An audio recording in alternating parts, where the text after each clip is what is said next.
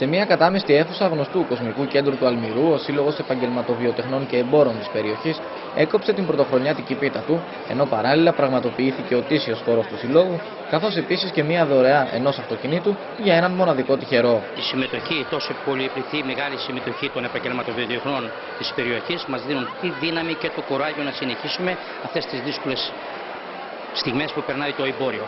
Βεβαίως, ο σκοπός αυτός έχει πολλαπλές αποδέκτες.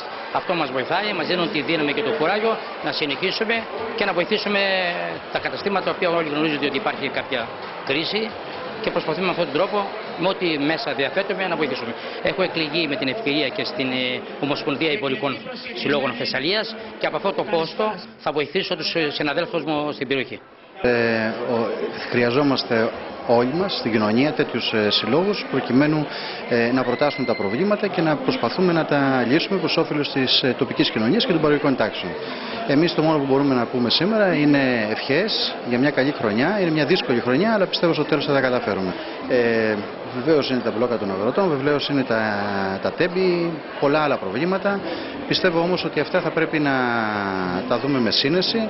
Ήδη εμείς έχουμε κάνει τις προτάσεις μας στην κυβέρνηση και πιστεύουμε ότι θα ακολουθεί μια τέτοια πολιτική ώστε να βγούμε από το τέλμα. Όπως έγινε γνωστό, τα έσοδα της βραδιάς θα διατεθούν για φιλανθρωπικό σκοπό.